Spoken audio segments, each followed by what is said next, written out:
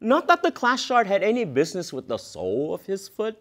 Nevertheless, it made itself familiar, and it was an unending story of how he teased and squeezed and how it refuted his negotiations. But finally, the shard, so small, smaller than the tiniest te- teardrop, was retrieved, and he, pain still, examined it for a brief moment against the halogen lamp before flicking it to her like a comet out my window. On my bed, he sat, a teary eyed Shiva, his wounded foot raised in the air, kicking, kicking. I should have swept carefully. This was no way to welcome a poet. I should have mopped, waxed something. Now I watch as he wiped the wound with the tissue paper and felt awkward like a caught voyeur. But then he looked up and smiled. Come here, he said. We had seduced each other over the phone and via emails a year before we actually met. An essay of mine had found its way to his part of the world, and he took the initiative of sending me an email full of compliments. I replied, thanking him for his kind words, and discreetly enclosed my number. he called. We talked, mostly of home, of our tropical Vietnamese childhood.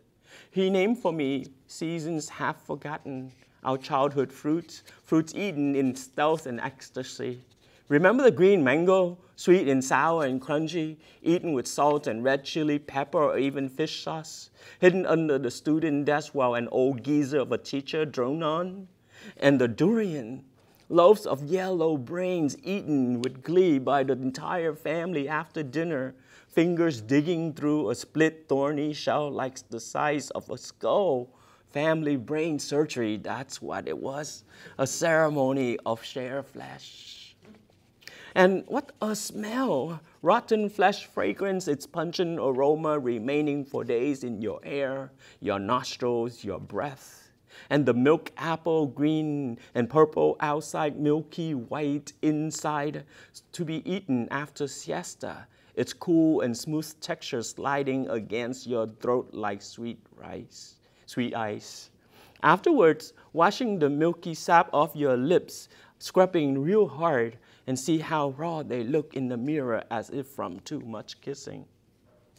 I, in turn, recounted for him the flame trees that blossom in the courtyard of my elementary school red and green, glowing to the point of blindness under an unforgiving sun. Its black fruits, hard shells that fit perfectly in a child's palm, turn, turn into swords for the boys to duel with. I recall the summer villa veiled in a cloud of red bougainvillea, bougainvillea by the ocean in Nha Trang. I, the way I slept in the afternoon on the second floor, soundly, insulated in my parents' rhapsodic laughter, which echoed like shattered crystals from room to room, and how I loved the roaring sound of waves out the tall French windows that made me dream of tigers. My favorite childhood smells, the sea, of course, with faint suggestion of kelps and dead fish ripened rice field at dusk, my grandmother's eucalyptus ointment to ward against evil winds, the sweetness of sandalwood incense burned by my pious mother nightly. On the phone late one autumn evening, I whisper, read me a poem. Out on the bay, the foghorn, foghorn wailed mournfully. A poem, please? I don't know, he said. You were supposed to send me a photo, remember? I'm sorry, I'll send one tomorrow. I swear, a poem, please. Hmm, read, please. Okay. Leaving. Mother burns pages of album. Wedding day, first child, father's funeral, dead. Quick, she says, hurry, pack, prepare. We'll sail away down river to sea. Saigon in April, a season of smoke. His poetry went on to speak of a perilous journey, one full of wonders and griefs. So I took my chance. Will you come for a visit? To your city? he asked. Of course, I said, by the sea. You can see sailboats every morning out my window. Hear the cable cars go rumbling, clanging by. Feel the sea breeze on your skin, taste its salt. To fall in love is to have one sense of geography grafted onto another's, no matter how tenuous, so as to form a new country. I saw Houston in my mind, a city of strip malls, grand old homes, and gleaming glass and steel skyscrapers that coexist cheek by jowl. He in turn imagined San Francisco with its Transamerica pyramid poking the blue sky, windblown hills the color of amber at twilight, sailboats gliding on the bay like playful white butterflies. He imagined, and I could tell from this from his voice, that there was freedom somewhere in the next valley. All right, he said, I'll come in December, the beginning of winter. Then he stepped on the shard and had trouble walking the next day. His new boots, bought a week before, unyielding. His dye stained socks kept sliding downward inside. He walked the city, my city, with the slightest of limb. We were otherwise chirpy as songbirds that first day. At lunch, we held hands under the table at Cafe Glade while he introduced, while I introduced him to friends.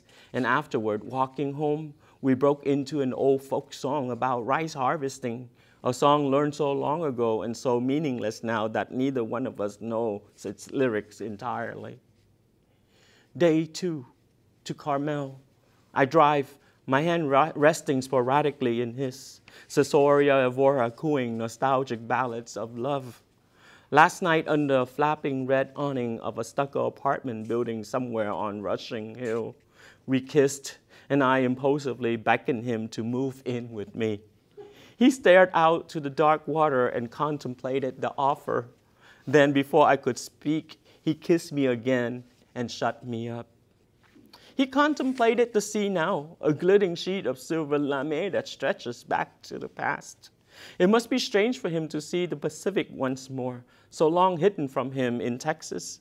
The ocean, a reminder of that terrible flight on that crowded boat full of refugees from Saigon.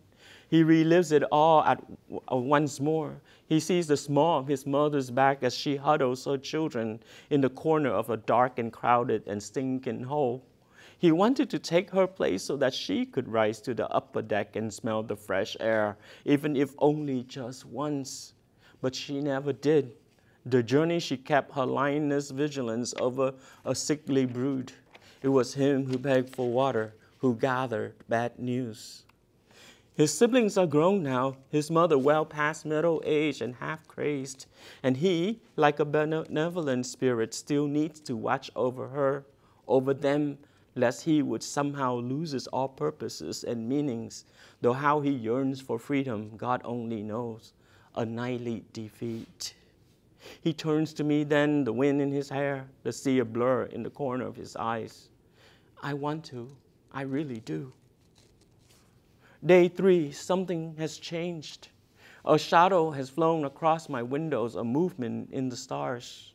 The initial delight of recognition shifts to the fact of too many details. We fall into routine. He sleeps on my favorite side of the bed. My left shoulder hurts from the weight of his handsome head. The way he throws the scarf over his shoulder vaguely bothers me, and I can't say why. Sometimes he has that sad look of poet's melancholy, and I suppose it's unreachable. He wears it too often, though, like a geisha, his powder. I look at him now, insulated in sadness, and wonder how his books could possibly fit in my apartment when my shelves have no more space for V.S. Naipaul's collected works. Day four, he discovers an unfinished poem on my desk, an ode to his beauty. He says nothing, but I can tell he doesn't really like it. It's not jealousy, it's the fact that I have moved into his territory, even if to woo him. Something in his sigh I recognize too well is claustrophobia. Day five, or rather night, rain, a chorus of remembrances. Fifteen years, and he is tonight as he was then, a moist eyed boy standing in the refugee camp, watching his mother hugging her sickly uh, son, her youngest pup, dying of pneumonia before her eyes. He is drunk but not from the alcohol, but from trusting and grief.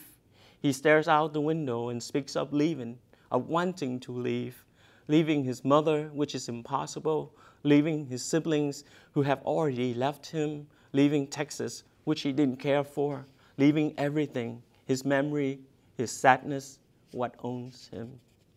We bury little Ben in Guam, he said. Around the grave we stood and sang his favorite song, then left his plastic dog on the mound until the rain washed it away. My sister went back to look for the grave last year, but he, she couldn't find it. Some morning, my mother stares out the window and cries as if it had just happened last night. Listening to him, I suddenly am overwhelmed by the a particular memory.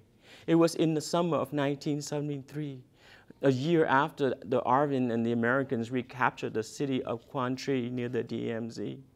I had visited with my father via helicopter, a rather strange excursion the city was destroyed in the recapturing, reduced to piles of rubble by B-52 bombs that left deep holes that by in afternoon after the monsoon turned into swimming pools for the children who survived. I walked about. Behind a broken window of a house sat an old woman. She sat as she must have always sat, with an ease of years, but she stared out to nothing now. The old neighborhood gone and the wall that held her window was the only thing left standing of the old house. I remember waving to her. She did not wave back. Day six, I want to tell him, the angel sleeping on my shoulder, that it's strange how love between two exiles can be thwarted by the hunger of memories. That Vietnam remains in many ways an unfinished country between us, even now, body to body, lips to lips. Day seven, she needs me, he says. You're lucky, you're free. And therefore, I thought, utterly alone. On the way back from the airport, it suddenly occurs to me how the tiny shard came to be there on my floor. A thin crystal vase that held a dozen white tulips toppled over one windy evening last spring. I remember holding the flowers upside down, drunk and out of breath, a lake of sharp crystals lapping at my feet, water dripping from the grieving bulbs like melted snows. A month and still no news. His phone is disconnected. This morning, I found a wrinkled tissue dotted with dry blood under my bed, my own shroud of Turin. He is so far away now, hidden across time zones, cocooned in requiems. I walk barefoot in my apartment, hoping another shard would pierce me too. But I'm not made for such a thing, alas, and must resort to keeping under my cool satin blue pillow the blood-stained tissue, remnant of an uneasy dream of communion whose yearning is long.